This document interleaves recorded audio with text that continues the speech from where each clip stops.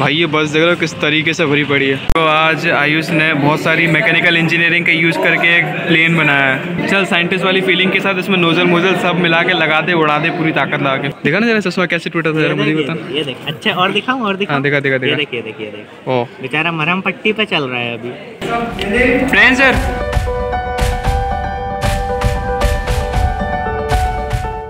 Good morning दोस्तों। क्या? पानी की बोतल रख ली? हाँ हाँ रख ली अम्मी। ठीक है तो मैं जाऊँ bye bye bye bye Julie आओ दिख दिख दिख दिख दिख दिख दिख दिख मुँह पे ही चिपक जा तू पूरी है? तो हे दोस्तों आज बेसिकली अपन जा रहे हैं कॉलेज और कई लोग ये पूछते हैं कि मतलब तुम्हारा कौन सा कॉलेज है? तो भाई हमारा कॉलेज है बंसल। आप जिस कॉलेज में या फिर जिस कॉलेज में एडमिशन लेने का सोच रहे हो तो हमारा कॉलेज है जहाँ पे हम वीडियोस बनाते हैं वो है बंसल। बंसल लोकेटेड है भोपाल में। और भोपाल लोकेटेड है मध्य प्रदेश में। तो आज मैं आपको पूरे पीरियड्स का शेड्यूल बताने वाला हूँ कि भाई किस तरीके से हमारे पीरियड्स लगते हैं क्लासेस लगती हैं, किस तरीके से बच्चे बंक कर जाते हैं और किस तरीके से थोड़ी बहुत मस्ती भी हो जाती है क्लास में। तो आज हम सारी चीज़ों को एक्सप्लोर करने वाले हैं। तो सबसे पहले तो बस के साइड चल रहे हैं। बेसिकली बस तो हमेशा लेट ही कराती है। मतलब कि पहले जो होता था कि भाई नौ बजे बस आ जाती थी, लेकिन अब के टाइम पे सवा नौ भी बज जाते हैं और नौ बीस भी जाते हैं यहाँ वहाँ तक पहुँचने में तो नौ तीस तक ही पहुँचती है बस। गुड मॉर्निंग गुड मॉर्निंग भाई ये बस देख रहे हो किस तरीके से भरी पड़ी है। हमारी बस आ गई। टी की बस तो इतनी ज़्यादा भरी हुई थी। तुझे पता टी की बस इतनी ज़्यादा भरी हुई थी। तूने देखी? आगे नहीं देखी? मैं वहाँ मैं कहाँ से देखूँ? नहीं भाई भयंकर भरी हुई थी टी वाली बस। अबे जगह तक नहीं है पूरी ये वाली जो है ना इधर वो तक भरी पड़ी है। लोग टांगे पड़े हैं एक तरीके ऐसा जैसे वो ट्रेन में नहीं रहती जनरल सीट में ऐसे भरी रहती एक तरह वैसी वाली भरी पड़ी थी।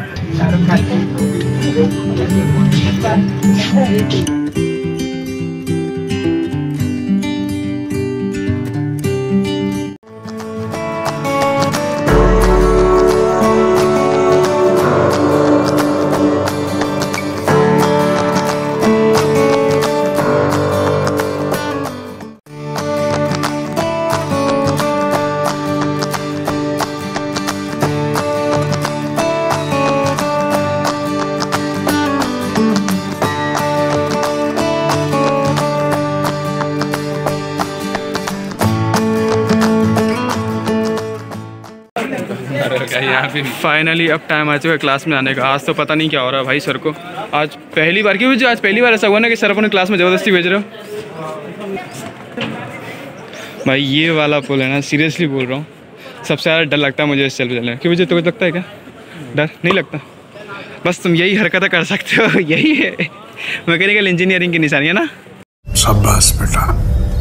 बहुत बढ़िया। ये पुल है ना थोड़ा सा मतलब हिलता है चलते टाइम तो ऐसा फील आता है कि मतलब कि क्या ही कहें छोड़ो। अभी तो चल रहे हैं अपनी क्लास की तरफ़ खैर। बात तो जितनी भीड़ अभी लग रही है ना उतनी भीड़ अभी बाद में नहीं लगेगी। मतलब लंच के बाद ये भीड़ है ना आधी हो सकती है। हो सकती है क्या? हो ही जाएगी। अभी तो इतने सारे दिखेंगे क्या होता है। पूरे के पूरे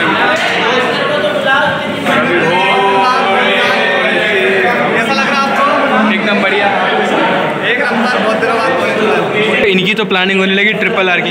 बिच्चू भाई? ज्योति में टिकट कितने का है? अस्सी का।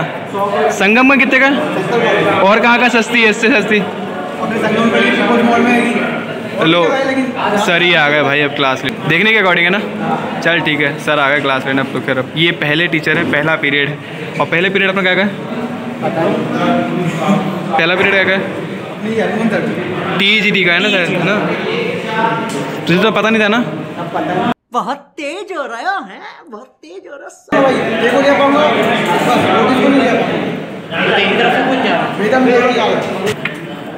कुछ बच्चे थोड़े लेट आते हैं।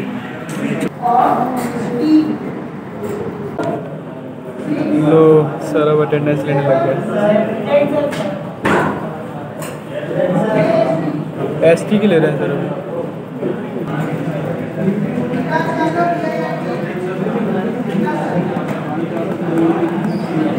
अभी फ्रेंड्स तो आज आयुष ने बहुत सारी मैकेनिकल इंजीनियरिंग का यूज़ करके एक प्लेन बनाया है। आयुष कैसा लग रहा था कोई प्लेन बनाकर? बहुत अच्छा ऐसा लगा साइंटिस्ट बन गया साइंटिस्ट बन गया? चल साइंटिस्ट वाली फीलिंग के साथ इसमें नोजल मोजल सब मिला के लगा दे उड़ा दे पूरी ताकत लगा के। फ्यूल कौन सा डाला तूने इसमें? हवा से चलता है हवा से? है। चल लगा फिर। दौड़ा इसको। आगे जाके। अबे ये प्लेन तो क्रैश हो गया। चल आगे और थोड़ा और थोड़ा आगे आ चलो आराम से जान दे जान दे। क्रैश होगी यस फाइनली पहला पीरियड ओवर हो चुका। आयुष नींद तो नहीं आ रही ना? आ रही है ना? पहला पीरियड ऐसा होता है। स्टार्टिंग के पीरियड में शायद ज़्यादा नींद आती है ना? खाने के बाद और ज़्यादा ये बड़ी अच्छी बात कही आप मतलब दोनों टाइम में नींद आती है, ऐसा नहीं है कि लेकिन खैर पहला पीरियड हो चुका है थोड़ी थोड़ी नींद आ रही थी उबासी टाइप की आ रही थी। भाई डेरिवेशन देखोगे ना, इतना बड़ा करवा दिया सर ने। क्या बताऊँ, देखो, एक मिनट दिखाता रुको। भाई, ये बहुत बड़ा डेरिवेशन था यार मतलब सर ने तीन तीन या चार बार तो मिटाया पहले बोर्ड को। फिर उसके बाद जाके लिखते गए लिखते गए लिखते गए। फाइनली उनका डेरिवेशन खत्म हो गया। तो अब तो आर वाले सर भी हैं एम के मार्क्स दिखाने लगे हैं। तो सभी के सभी ने वहाँ पे झुंड बना दिया है। हाँ हाँ एक एक करके एक एक करके सबको मौका मिलेगा सबको मौका मिलेगा। सरपंच को बुलाओ। सी आर को बोल रहे हैं क्यों क्लास रिप्रेजेंटेटिव कितने मार्क्स है? क्लास रिप्रेजेंटेटिव कितने मार्क्स है सी आर के? वो सी आर नहीं है प्रधान है। कुछ बच्चे एलिजिबल नहीं थे इसीलिए क्या है उन लोगों को एग्ज़ाम में नहीं बैठने दिया। लेकिन क्योंकि उनकी अटेंडेंस कम थी लेकिन कुछ लोग एलिजिबल थे उनको एग्ज़ाम देने दिया। और उनके मार्क्स कितने आ रहे हैं? चार पाँच छः आठ नौ। मैक्सिमम जो है मैक्सिमम बारह तेरह ना एक? बारह तेरह। उससे ज़्यादा कुछ नहीं। तो मतलब अगली बार तो। मुँह बंद कर दूँगा। जय तो पूरा फिक्स करके बैठा है कि साला इस बार तो बैंड बजा दूँगा। सेवन हाँ हाँ। कितना है एग्ज़ाम ही नहीं दिया। एलिजिबल ही नहीं है। इस बार सबसे ज़्यादा बच्चे कटे हैं मतलब ऐसे एलिजिबल और नॉट एलिजिबल की वजह से। भाई सी एस बंदा सी एस का बंदा चार दिन आया उसे एलिजिबल कर दिया हम सारा रोज आ रहे हैं तो भी नहीं एलिजिबल है वाह। बेईमानी हो रही है अपने साथ मैकेनिकल वाले इसीलिए। पंखे को फूल बना दूँगा।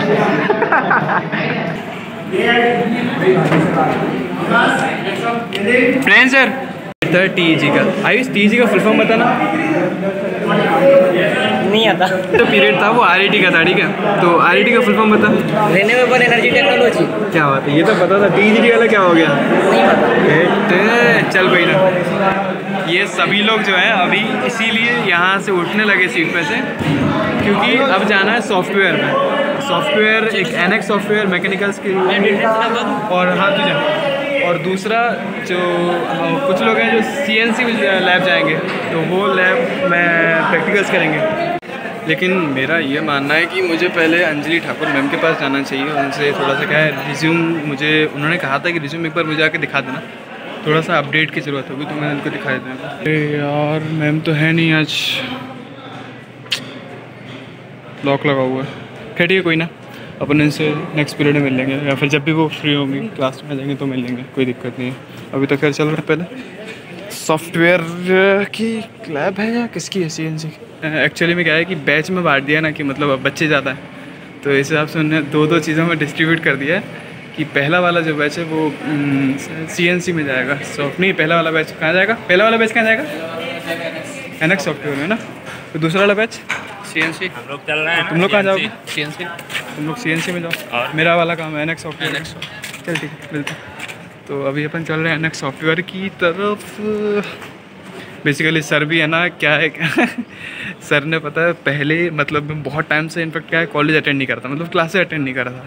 तो जब उन्होंने मेरे को अटेंडेंस के टाइम पे जब बुलाया इनफेक्ट नाम पुकारा मिलिन तो मैंने प्रेजेंट बोला। उस दिन वो शॉक्ड हुआ ओ माय गॉड ये लड़का आया है मतलब आज के। खैर, फिर उसके बाद थोड़ा सा कंटिन्यूसली रखने लगा चार पाँच क्लासेस कंटिन्यू हो गई थी तो उसके बाद फिर सर ने इतना नहीं बोला। लेकिन अभी अपन चल रहे पहले तो एनएक्स सॉफ्टवेयर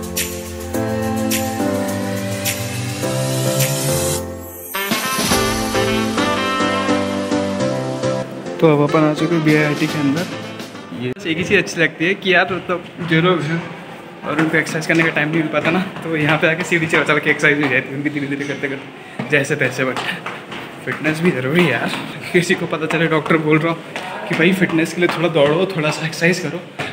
और बच्चे आके सुनते नहीं हैं लेकिन यहाँ पे आके क्या करना पड़ेगा? क्लास लेनी है तो सीढ़ी तो चढ़नी पड़ेगी ना। खैर आ गए सेकेंड फ्लोर एनेक्स सॉफ्टवेयर कितना शांत एरिया ना। यहाँ पे ज़्यादातर क्लास नहीं लगती।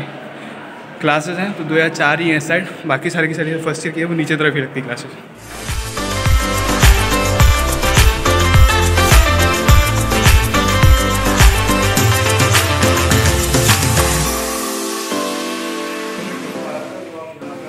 अब बच्चे आने लगे धीरे धीरे दीपक भाई को प्रणाम। गुड यहाँ पे हमारी लाइव लगती है।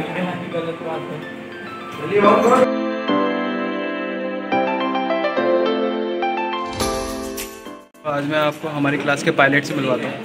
हाय पायलट कौन सी क्लास है पायलट आज की? कैसे आप? नहीं वो तो ठीक है। ये होता तू कितनी कौन सी क्लास है ये? सॉफ्टवेयर की तेरी चौथी पाँचवीं ये भी सेम मेरे ऐसे ही है चौथी पाँचवीं क्लास वाला। तो देखो एन एक्स सॉफ्टवेयर चालू हो चुका है अब इस पर ड्राइंग्स करनी है।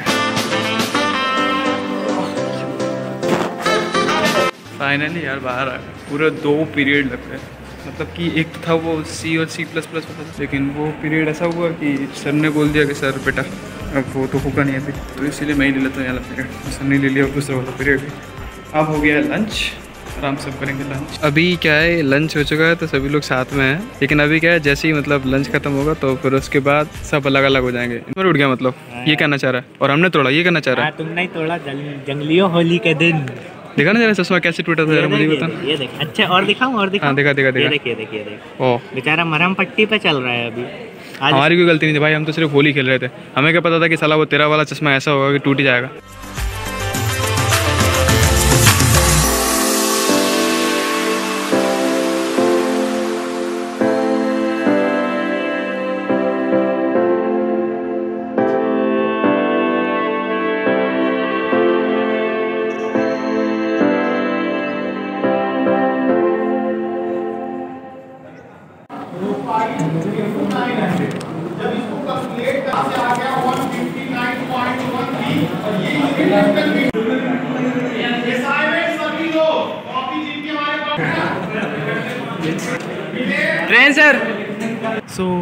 फाइनली सारे लेक्चर्स हो चुके कंप्लीट अब आ चुके हैं लाइब्रेरी में। बेसिकली क्या है कि लाइब्रेरी में आने का मोटो ये था कि अब थोड़ा सा पढ़ाई कर लेता और क्या असाइनमेंट्स वगैरह बाकी थे तो मैंने सोचा कि चलो थोड़ा बहुत असाइनमेंट्स ही लिख लिए जाए।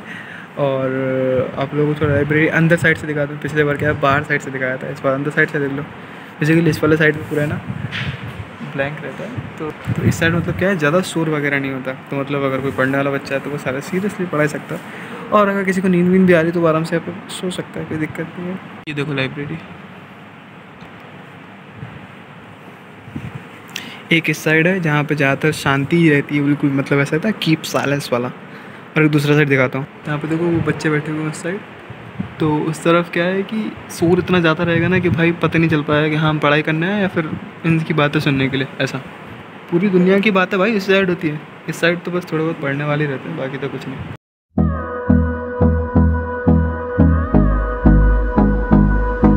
ये सारी भीड़ जो है वो छुट्टी के टाइम की है और सभी के सभी बच्चे जो है वो अपनी बस देखने के लिए लगे हुए हैं। देख लो।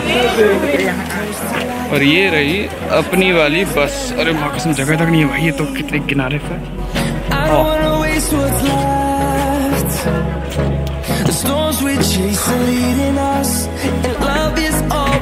Try. सारे सीट भर गई क्या आज? पीछे नहीं है सोनी पे ओह एक सीट बच गई है मतलब।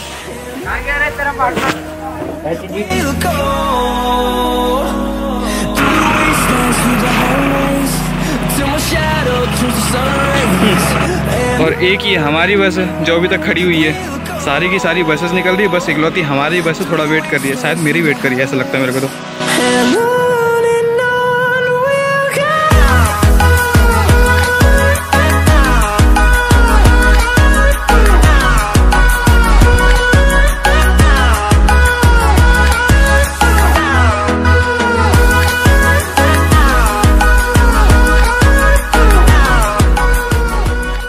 तो भाई ये था पूरा शेड्यूल कॉलेज के एक दिन के टाइम टेबल का जो मैंने दिखाया है कि किस तरीके से पीरियड्स होती है और बेसिकली अगर कुछ लोग हैं जो बंसल में लेना चाहते हैं एडमिशन तो बेशक आप ले सकते हैं एडमिशन कोई दिक्कत नहीं है। और दूसरी चीज़ ये भी है कि वे बंसल जो है वो बाकी लोगों के कंपैरिजन में मतलब बाकी कॉलेजेस के कंपैरिजन में वो पढ़ाई पर थोड़ा ज़्यादा फोकस करवाता है। और कुछ चीज़ें ये भी हैं कि जैसे अगर आप कॉलेज सिलेक्शन जैसे अभी कई लोग हैं जो गवर्नमेंट वाले हैं और इनफैक्ट जैसे जो एम पी गवर्नमेंट वाले स्कूल वाले हैं, फिर कुछ ऐसे हैं जो बाहर से आ रहे हैं पढ़ाई करने के लिए और वो ये सोचते हैं कि हमारे लिए कौन सा कॉलेज बेस्ट रहेगा तो हम थोड़ा सा कॉलेज में आके एक बार देख लेते हैं और वो सिर्फ़ टीचर्स से जाकर बात करके और फिर उसका निकल जाते हैं। लेकिन एक्चुअली में आप गलत करते हो, क्योंकि टीचर्स जो है वो एक टाइप से होते हैं प्रमोशन करने के लिए कि हाँ भाई, हमारे कॉलेज से बेस्ट कोई दूसरा कॉलेज है ही नहीं। टीआईटी चले जाओ ट्रूबा चले जाओ ओरिएंटल चले जाओ सागर चले जाओ, बहुत सारे कॉलेज प्राइवेट कॉलेजेस हैं, जो आपको ये बोले हैं कि हाँ हमारा कॉलेज बेस्ट है।